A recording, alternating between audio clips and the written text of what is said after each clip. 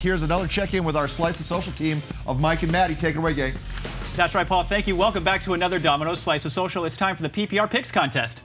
This week's theme was student section. First up, it's the San Marcos student section. You know them better as the Blue Crew. They are always one of the really good ones up there, and we have one more from the appropriately named Loud Crowd. That would be the Carlsbad student section. Now, unfortunately, these were the only submissions we received tonight, so we're going to keep this contest going throughout the weekend, so keep sending us your nominations throughout the weekend.